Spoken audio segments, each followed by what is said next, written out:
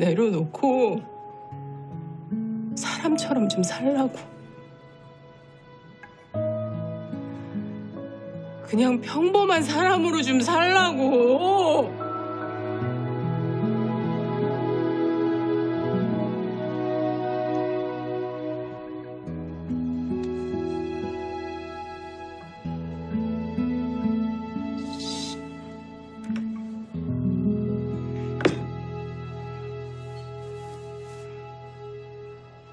내게 뭐냐?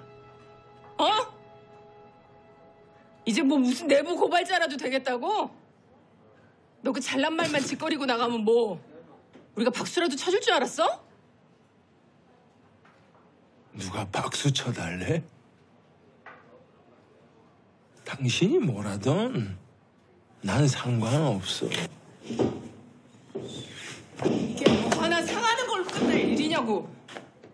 우리 생각은 안 해? 세준이 형은 기아는 다들 죽기보다 다니기 싫은 회사 식구들 먹여 살리겠다고 억지로 붙어 있는 거 모르냐고. 야, 착각하지 마. 네가 무슨 짓을 하고 나가도 결국 깨지고 해지는 건 우리지. 여기 매일 한국에 바뀌는 거 하나도 없어. 그치만 매일 한국 언론사야. 언론사에서 어떻게 자기 식구 죽음까지 팔아가면서 돈을 버냐고. 언론사도 회사야. 회사는 돈을 버는 게 목적이고 회사가 돈을 벌어야 월급을 받고 월급을 받아야 일을 할 거 아니야. 그 인턴 말이 맞아. 밥은 팬보다 강해.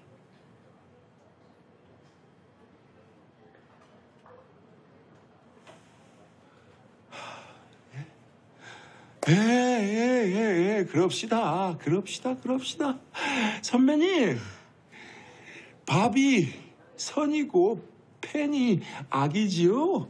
멍청하고 어리석은 놈한테는 입 쳐닫고 침묵하는 게 그게 그게 그게 곧 지혜고요. 그쵸? 진짜.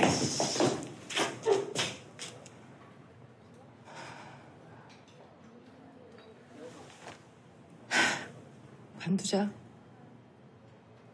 기아 말 틀린 거 하나 없네. 이럴 거 같으면 차라리 죽은 사람처럼 살던 어제가 훨씬 날 뻔했어.